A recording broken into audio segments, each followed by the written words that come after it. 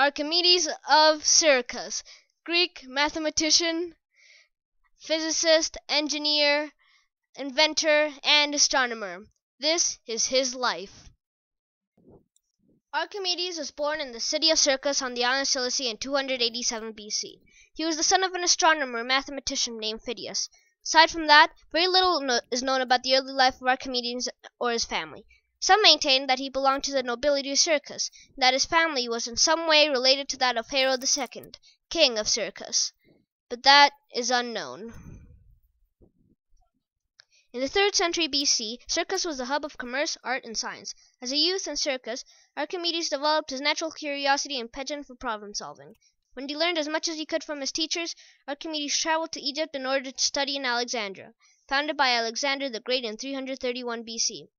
Alexandria had, by Archimedes' time, earned a reputation for great learning and scholarship. After his studies in Alexandria, Archimedes returned to Syracuse and pursued a life of thought and invention.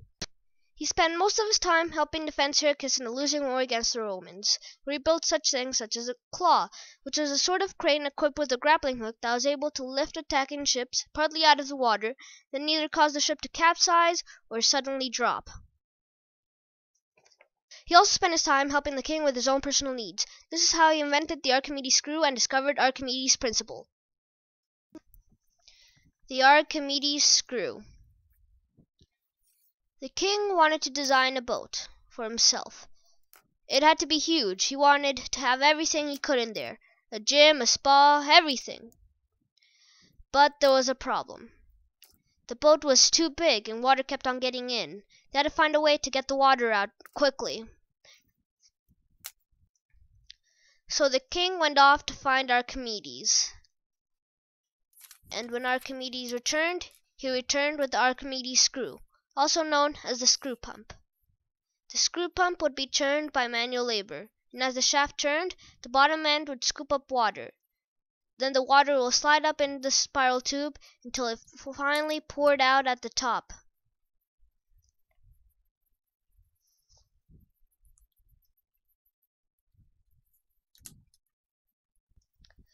Archimedes' principle.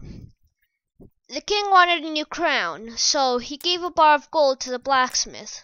But when the blacksmith came back, the king wasn't sure that the blacksmith had used all the gold, or if he had substituted the gold for something cheaper like silver, and kept the rest of the gold for himself.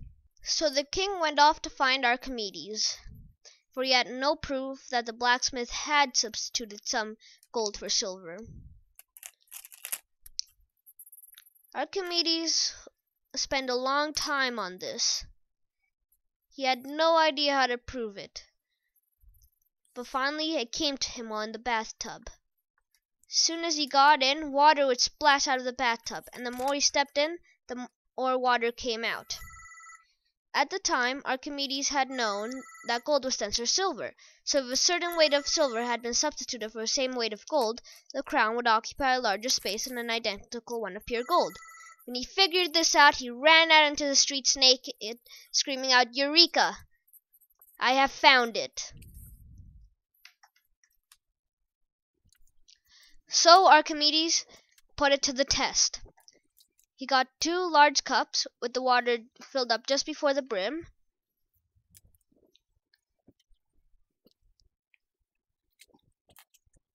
One of them he put the gold bar in, and he measured how much water came out. The other one he put the gold crown in, and measured how much water came out, but he noticed that more water came out on the gold crown. That's how Archimedes' principle came to be. The buoyant force is equal to the weight of the displaced water.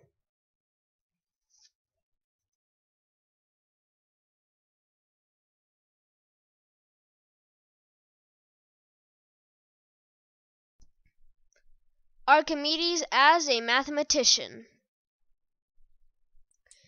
Archimedes was a great inventor, but he was also known as the greatest mathematician of his time. Some of his greatest involvements include finding a really close estimate to pi. This is how he did it.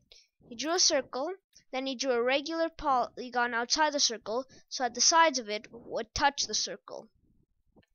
He then drew another polygon, but instead of outside, he drew it on the inside, so that the vertices of the of the of the polygon would touch the sides of the circle. And then he just kept on narrowing down his answers by drawing more sides on each of the polygons. He kept on doing this until eventually his answer got exhausted and he came up with a really close estimate. His estimate was that pi would be somewhere between 3 and 1 seventh to 3 and 10 71th. Some of Archimedes' most proudest work was in something called the 44 Statements. This mostly included math, including uh, spheres and cylinders. I'll just give you a few examples. Statement number 33. This one talks about the area of a sphere. Let's take this as a sphere for example.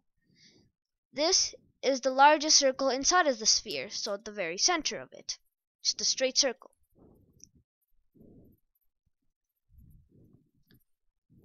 Surface area of a sphere equals 4 times the area of the largest circle inside of the sphere.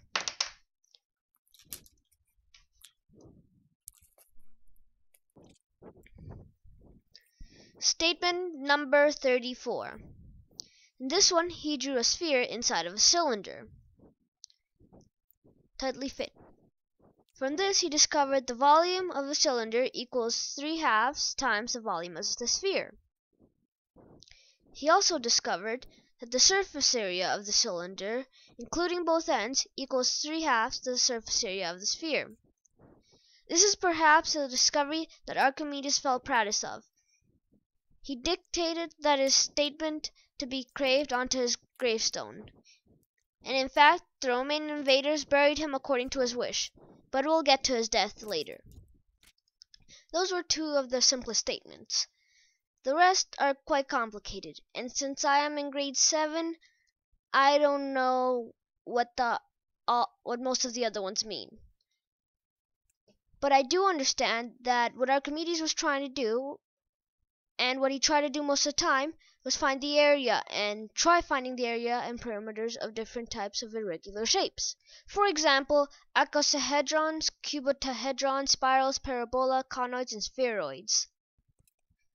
For two years the genius of Archimedes repelled the Romans, enabling the city to survive the lengthy siege. He used many clever contraptions, as I mentioned before, such as the claw. But nevertheless, in 212 B.C., the forces of Marcellus prevailed and took the city. Marcellus had great respect for Archimedes, and immediately dispatched soldiers to retrieve his foe.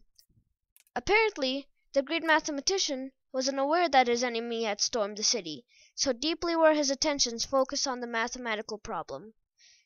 When a soldier demanded Archimedes accompany him to the quarters of Marcellus, he simply refused, and continued his work. Then the enraged soldier flew upon Archimedes, striking the seventy year old dead. Marcellus was greatly distressed upon hearing the news of Archimedes' death, and ordered that he buried him with honors.